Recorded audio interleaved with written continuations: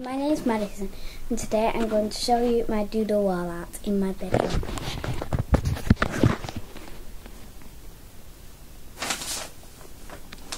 Oops.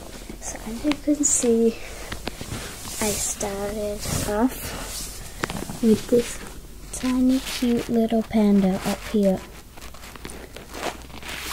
Then I moved on to these food sections. These.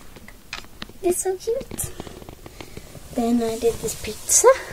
I love the most. I did this watermelon. I also did the gummy bear. I did Domo.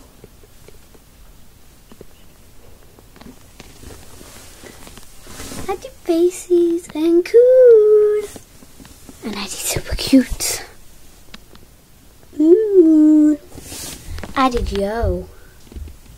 And Domo. And a diamond. And a rabbit.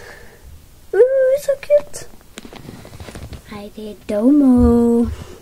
And a little cloud. I did a love heart. I did a cute face.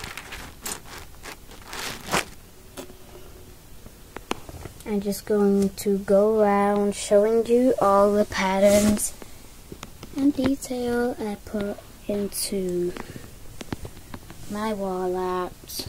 Sorry. Up here, and it gets darker because I have this netting on it, and um, cutie pie. You see how I've done it eye